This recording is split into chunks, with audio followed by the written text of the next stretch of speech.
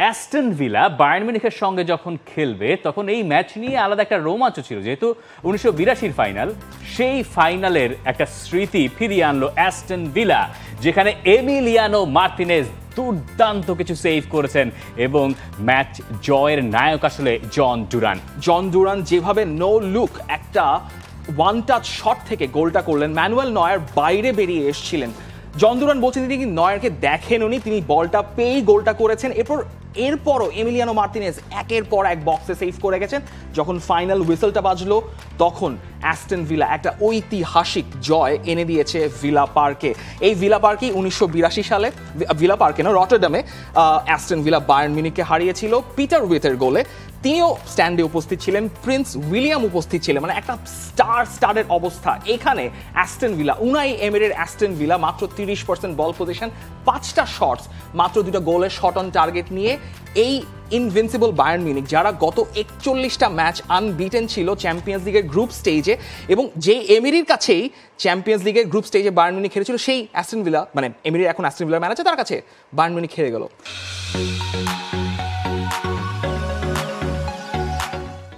আমি যদি একটু একটু করে এই ম্যাচের দিকে আসি অ্যাস্টন ভিলাতে ম্যাচ আপনি বলছিলেন বিরাশির ফাইনাল ফিরে ফিরে আসছিল, কারণ সব কিছুর হেডলাইন ছিল এরকমই। এই নিয়ে বায়ার গেছে অ্যাস্টন ভিলা দুটো ম্যাচ খেলো বিরাশিতে তারা চ্যাম্পিয়ন্স লিগ জিতেছিল এর পরের বার তারা যখন বায়ার মুখোমুখি হলো চ্যাম্পিয়ন্স লিগে তখন তারা আবারও বায়ার ঠিক একই ব্যবধানে, এক শূন্যতে হারালো। এবং এই হারানোর পেছনে, এই ঐতিহাসিক জয়ের পেছনে অন্যতম বড় অবদান আর্জেন্টাইন গোলকিপার এমিলিয়ানো মার্তিনেজের বিগ ম্যাচ বিগ প্লেয়ার এবং আরও কি দুর্দান্ত সব সেভ তিনি পুরো ম্যাচ জুড়ে করে গেছেন এমিলিয়ানো মার্টিনেজের জন্য এই জয়টা একটা স্মরণীয় মুহূর্ত। ম্যাচ শেষে তিনি বলছেন, পুরো ব্যাপারটাই অবাস্তব লাগছে। ক্লাবে আসার পর ভিলা পার্কে এমন সমর্থনের আগে পাইনি। অ্যাস্টন ভিলা সামনে এগিয়ে যাচ্ছে এবং সেজন্যই আমি এই ক্লাবে থেকে গেছি।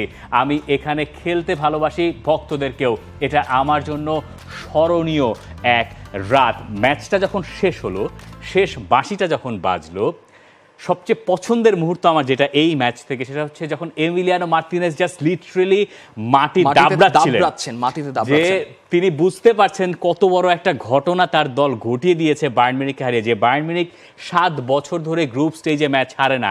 ইংলিশ কোনো ক্লাবের এগেনস্টে বায়ার্ন মিউনিক শেষ এগারো ম্যাচে চ্যাম্পিয়ন্স লিগে মোটে একটা হেরেছে তাও ম্যানচেস্টার সিটির কাছে।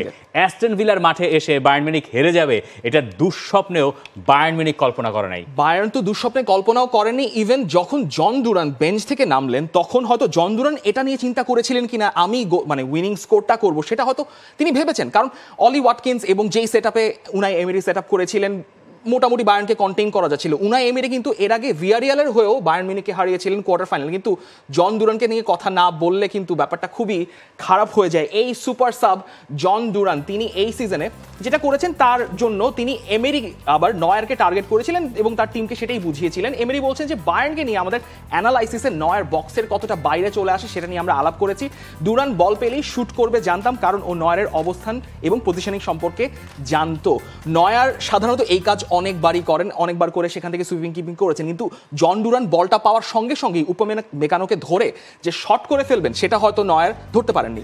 দেখুন সুপার সাবের ইম্প্যাক্ট কাকে বলে? বয়স মোটে বেশ এবং যখনই তাকে মাঠে নামানো হয় এগুলো তিনি করে দেখান। তিনি এই এত এত এত মিনিট খেলেছেন এবং সেখানে গিয়ে তিনি সুপার সাবের কাজটুকু করেছেন। ওলি ওয়াটকিন্স হয়তো সুপার সাব হবেন না। হয়তো তাকে সাব হিসেবে নামালে সেই কাজটা হবে না। যে কাজটা জন ডুরানকে দিয়ে হয়।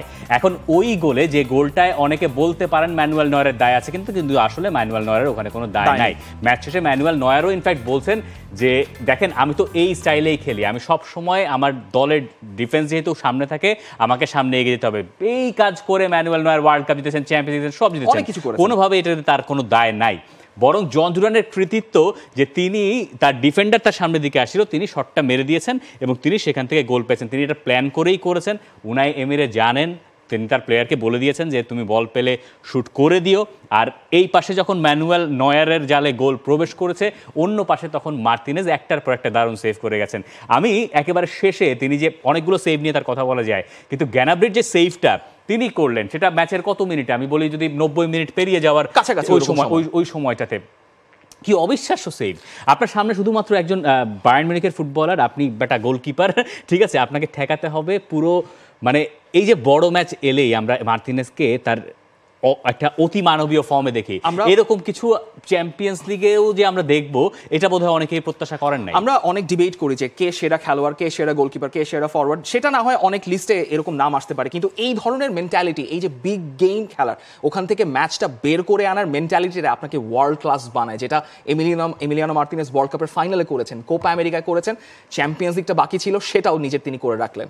এবং একটা ম্যাচ ছিল যেখানে দুপাশে দুই গোলকিপার একজন ম্যানুয়াল নয়ার অন্য পাশে এমিলিয়ানো মার্টিনেজ। দুটো ওয়ার্ল্ড কাপ উইনার দুই দুই অবিশ্বাস্য জায়ান্ট আমি যদি এইভাবে বলতে পারি তাহলে তাই দেখার মতো একটা ম্যাচ হয়েছে সব কিছু মিলিয়ে মানে ভিলা পার্কের আওয়াজ থেকে শুরু করে টেলিভিশন কথা বলা যাবে মানে আমি। জানি না এটা নিয়ে আসলে কথা বলা যাবে বহু আপনারা নিশ্চয়ই আমাদেরকে জানিয়ে দেবেন কমেন্ট সেকশনে যে এই ম্যাচটা দেখে অথবা না দেখে পরে হাইলাইটস দেখে আপনার কাছে কি মনে হয়েছে For more updates, subscribe to our YouTube channel and click on the bell icon. Follow us on Facebook and Instagram. Download T Sports app to enjoy exciting games and highlights. Visit tsports.com.